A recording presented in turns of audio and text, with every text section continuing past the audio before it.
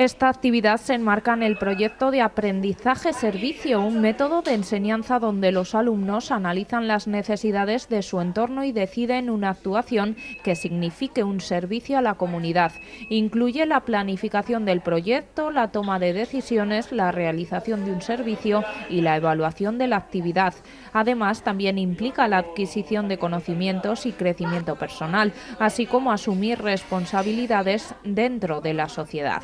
Los alumnos se han involucrado en diferentes actividades como el estudio del corazón y el aparato circulatorio, la investigación sobre las estadísticas de donación de sangre en Cantabria y la recogida de datos sobre las reservas del banco de sangre. También han diseñado los logotipos y lemas para la campaña de donación y los carnés de futuros donantes con el fin de sensibilizar y animar a la donación de sangre.